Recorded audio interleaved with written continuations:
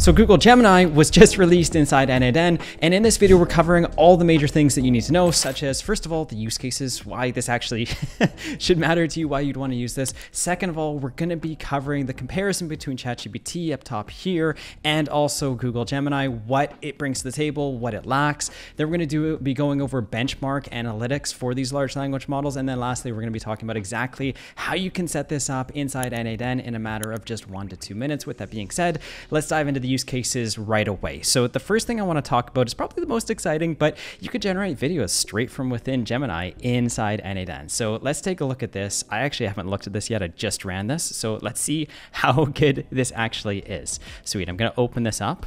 Cool.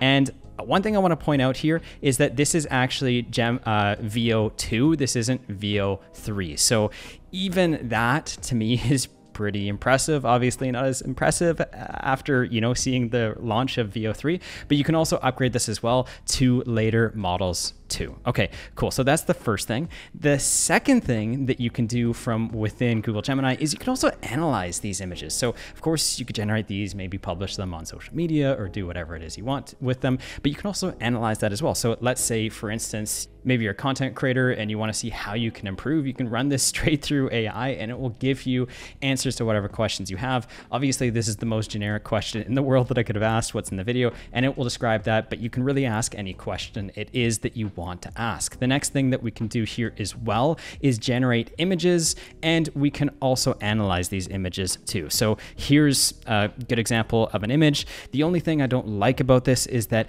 kind of the contrast between the back and the phone is not perfect. It just kind of blends in, but I think that this is actually more to do with the prompt than anything else. Okay, cool. Moving past that, we can also analyze these images as well. So we can ask it, hey, based on taking a look at this video or this photo, can you tell me exactly what you see in here? And it'll say this image shows a smartphone, likely an iPhone, possibly a 13 or 14 model based on the screen layout and so on and so forth. So it'll actually describe it. But of course, you don't just have to ask what the video is about. You can do whatever it is you want. So another example could be on that social media kind of example is you could be like, hey, can you write me a caption for this photo before you go ahead and publish it on Instagram or Facebook or whatever the case may be. Now, the next thing we can do here is we can actually analyze full on PDF files. So for instance, let's say that you have a contract just like this and you have questions about it. Now, all of a sudden, you can just upload this document straight into Gemini and ask whatever question it is that you want. So I could be like, hey, can you, again, on the train of like on the, the bandwagon of most generic questions possible. Can you tell me what this document's about? And we'll go ahead and say, hey, this is a service agreement slash contract or invoice between a company and yourself. Sweet. So that's pretty cool as well. And then we can also work with audio files too. So let's say, for instance, we have this particular audio file here. I'll just play it for a second. Within that time or one project, project whichever comes first the reason we've done it this way because sweet. And so that is a sales call that one of my team members is having with the potential prospect. And so what we can do inside gemini is first of all we can analyze the audio. So we could ask you know what's again with the most generic questions in the world what's actually going on in this call? Can you give me a one sentence summary? And it'll go ahead and say that this is a sales call between an automation agency and a marketing agency specializing in contractors. Cool. So that's number one. And number two is we can just transcribe the whole uh, the whole call as well. And so it will give you everything that was said in that call just by running it through this one node here. Sweet. So that is essentially Google Gemini in a nutshell. And on top of that, we can also add this into our AI agents using Google Gemini as kind of like the brain, if you will. And then lastly, we can just plug this into a large language model and ask any question that we want because we're on the summarization train here. I just asked to summarize like literally a website here. So I'm like saying, hey, can you tell me what this website's about? And it can go ahead in one sentence and say exactly what's going on on that particular website website. Now let's compare ChatGPT to Gemini to see what it brings to the table, also what it's lacking. So first of all, with ChatGPT, it cannot generate videos. It can also not analyze videos. And directly, I don't believe you can just automatically analyze a PDF. You typically have to convert the PDF into text and then add that into ChatGPT for it to analyze the information. But with Google Gemini, you can essentially merge these two steps into one. And so with the analyze audio transcriber recording, you can essentially do this, I believe, inside ChatGPT. And of course, you have access to uh, ChatGPT as the brain of the AI agent, as, and, and as well as asking just generic questions to the large language model. Now, in terms of what it lacks that ChatGPT has is right now, ChatGPT can generate audio messages, which of course is cool. And one other thing that I really, really like about ChatGPT that Google Gemini unfortunately does not have, and I'm not sure if this is a flaw or just something that they don't actually want, but inside messaging, um, you know, a large language model like ChatGPT, the cool thing is, is that you can have three different messages here, okay? You can have a system message, you can have a user message, and you can have an assistant message. So let me just kind of break this down. Specifically, this assistant message, because this is exactly what Google Gemini does not have access to. And this is one of my favorite things. I use this pretty much every single time. Now, with the system message, it's like instructions. So for instance, we could be like, summarize this blog post, okay? We're telling it what to do in the system message. Now, with the user message, we're saying, this is the blog post that we want you to summarize. So we're passing in the user message the input or the blog post. And then the assistant message over here is the output, or we're saying or defining how we want the data to be structured when we output that data. So I could be like, structure it as just a text you know, text field, or I want you to return this as an object. And an object is the backbone of N8N. So for instance, this is what an object looks like inside N8N. We can have like, for instance, first name, last name, email, message, and service. And so with Google Gemini, the problem is, is let's say we have this generic text block here, okay?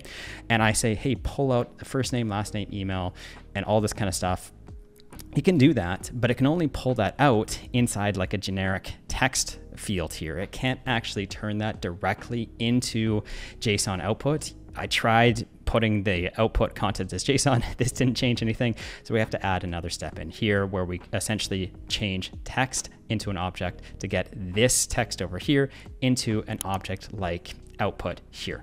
Sweet. And just the last thing I want to compare here between ChatGPT and Google Gemini is the fact that with ChatGPT, you have something called assistants. And so if we were to hit the plus button up top here and type in OpenAI, we have access to both assistants over here and then also this like message a model here. Let me tell you the distinction first. Message a model is like a one-off thing that you're creating. So it might be like, hey, create me a blog post. But if you message this again, it's not going to retain the the memory of all the past messages you've sent. So like for instance, if you come into ChatGPT here, you could have a conversation, it will remember all of the past messages and the conversation history. And very similarly, you can achieve the exact same effect with an assistant inside ChatGPT. However, with this being said, this is also pretty much the exact same thing as having an AI agent down here hooking up your brain or large language model like Google Gemini, and then attaching a memory here so that it remembers past conversations or past messages as well. And so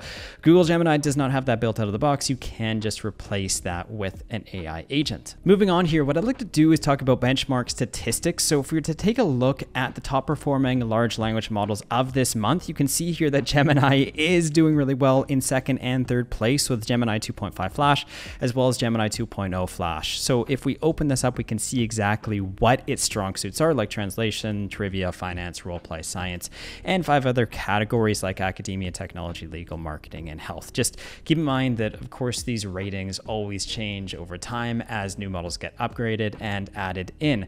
Finally, in the last couple minutes of this video, I just want to talk about exactly how you can set Gemini up inside your N8N environment because we do need an API key. Now, right before we talk about the API key, I just want to kind of go over the fact that if you were to add in a module here and you don't actually see Google Gemini over here, it's because you need to update your instance of N8N. So how we do that is by going over to the admin console on the left hand sidebar here. We'll hit that cloud icon and inside this admin panel, we'll hit we'll head over to manage. We'll just choose the latest N8N version over here. So you can just upgrade this and then click save down here. This will reboot N8N. It might take you one to two minutes and then you should have Google Gemini appear here for you to be able to officially go ahead and use.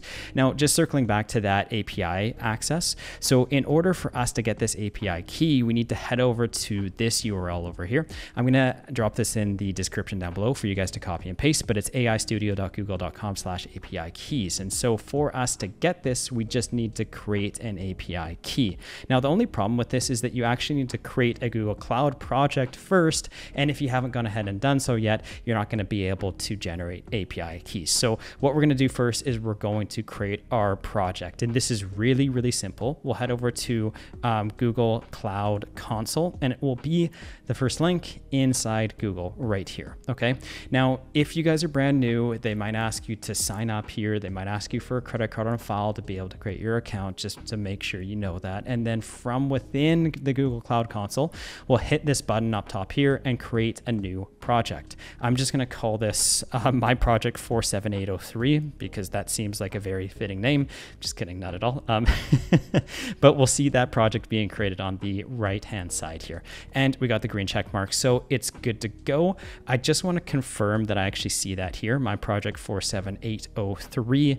And from within our AI studio.google.com, we should now have access to that project that we just created. And now we can create the API key. So first of all, I'm just going to refresh the page. Sometimes this takes like five to 10 seconds for it to come in. We'll hit create API key and search for that particular project that we just created. Does not look like it's here, so I will refresh the page one more time, click create API key again, and hopefully it's there. Okay, sweet. So we can see it here. We'll click our project, create an API key, which will be added into that project.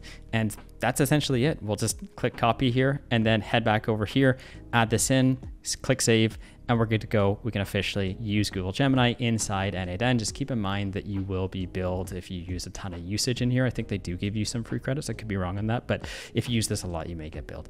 Uh, with that being said, guys, really appreciate your time. Thanks so much for watching this video. If you found value in it, please make sure to hit that subscribe button down below because it lets me know that I'm doing a good job. And if you haven't done so already, I'd highly recommend taking a look at the Skool community that I have. The link will be in the description down below. There is three transformations I want to take you on. Let me explain these in 10 seconds to see maybe this could be the right fit for you, maybe it's not. The first one is to learn all the tools that you can actually apply to your life and reap the rewards, save time, earn money, all of that kind of stuff. The second transformation is for those of you who already have your own business. I'm going to give you the exact blueprint that allowed me to automate up to 80% of my business and scale that to seven figures. I've definitely been there before where I just felt stuck and I couldn't scale or couldn't grow. And the only two things that got me out of that were, of course, hiring talent and also being able to automate the existing work I was doing manually. And the third transformation is for those of you looking to create your own AI automation agency. And I'm going to give you the exact roadmap that's worked for me and also countless other members that have joined the community as well well. The goal is to help you find and close deals all within one month or less. With that being said, guys, thank you so much for watching. Have a lovely day, and I'll see you in the next video.